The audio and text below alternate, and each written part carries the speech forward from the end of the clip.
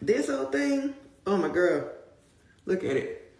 This is before I do anything to it in the morning. So first we gotta take it down.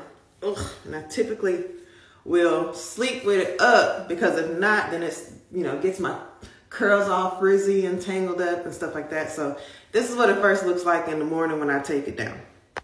We're working with like a sixth day of my wash and go type of hair. So it's a bit dry and it's definitely getting bigger and frizzier.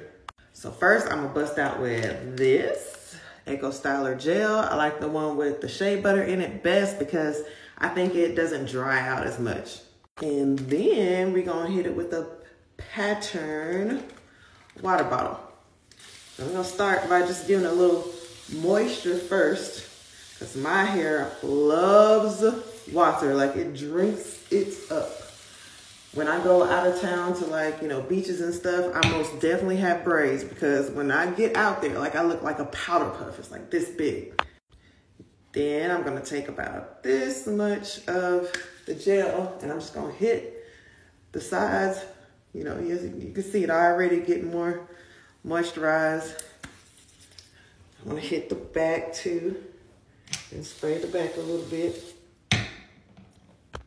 And then y'all, I am such a fan of the pattern line, especially for the tools. Like this brush, this bristle brush, I just got it and it is already my best friend. And before then, I, I know you shouldn't really, you know, do this with these types of brushes, but this is my pattern brush. It's kind of like the Denman brush, except it is a lot stronger. So if you got a lot of hair like me, you're probably wearing out them Denman brushes at least two or three times a year. Like this little part, and I know mine's nasty, just disregard that. This little part right here would always just end up sliding off eventually. Pattern doesn't do that. So I'm gonna take the bristle brush, and I like to take the little hard side first, and just brush it around the perimeter. I don't really slick edges or anything like that, but I definitely wanna make sure I got it up in a nice sleek way. Once I get it all brushed up, then I take my edge control also by pattern.